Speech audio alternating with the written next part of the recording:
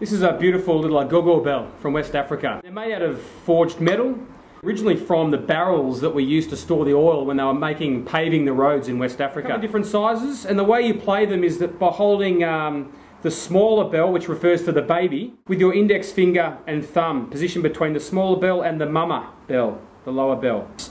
As you can see, this is a medium-sized bell, and they've got lots of different pitches depending on how you hold them. So you can mute the sound,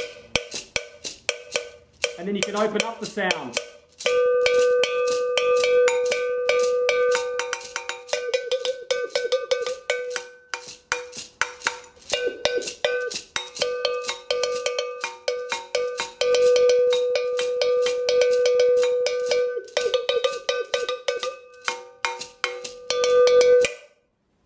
Beautiful instrument from West Africa.